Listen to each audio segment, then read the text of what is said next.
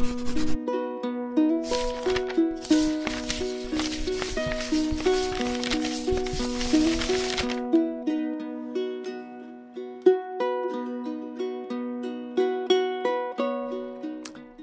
dan saludo maniluho sa Jesucristo. Hafa Adai, my brothers and sisters in Christ. This Sunday, we hear one of the most famous stories in Scripture, the story of the wedding feast in Cana.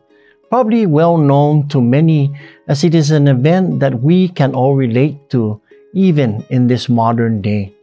The wedding feast, always elaborate and very well planned, usually months in advance, and attended by the closest family and friends, those who mean the most to the couple coming together to celebrate a most joyous occasion. We hear today how Mary and Jesus, along with some of his disciples, were invited, and somehow the celebration was running low on wine. To run out of wine in such a big celebration would have been disastrous to the married couple and the families on each side.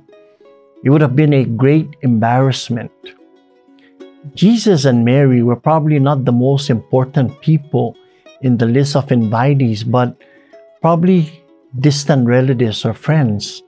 But for some reason, Mary was made aware of the situation and she takes it to her son Jesus. And we hear the human response of a young Jesus as he asks his mother, what the situation meant to them. His time had not yet come to reveal his presence as the Messiah, and Jesus had not worked any miracles. Mother Mary overlooks Jesus' response and tells the servants of the feast, Do as Jesus tells them.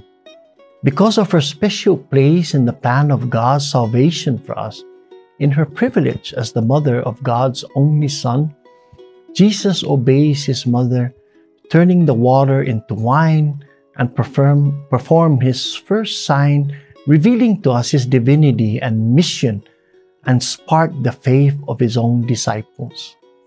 Jesus, yielding to the requests of Mary, must have seen the Father's will at work in her, as her request was not for herself, but for the good of others.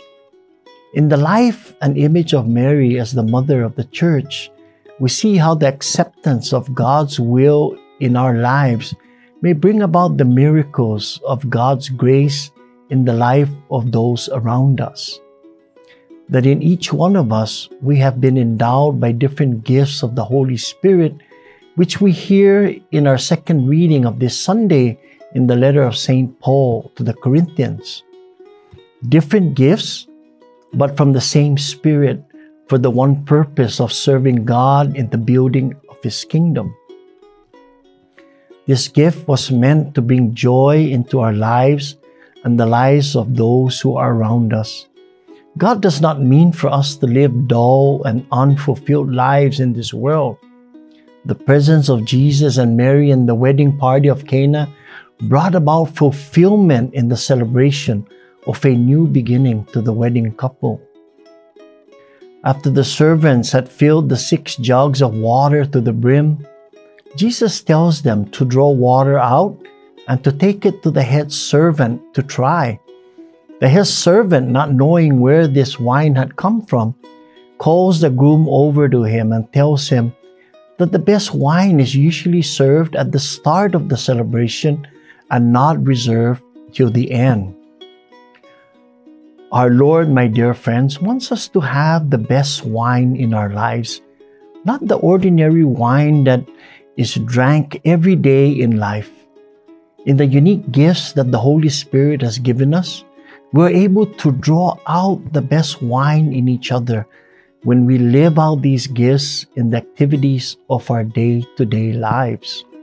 It is in our sharing of these gifts, my brothers and sisters, that we bring humanity to fulfillment in the building of God's kingdom and can be realized in our listening to our Heavenly Mother today in the words of the Gospel regarding her Son, as she tells us, Do whatever He tells you. Have a blessed and wonderful day si Jusen Fambinendisi. God bless.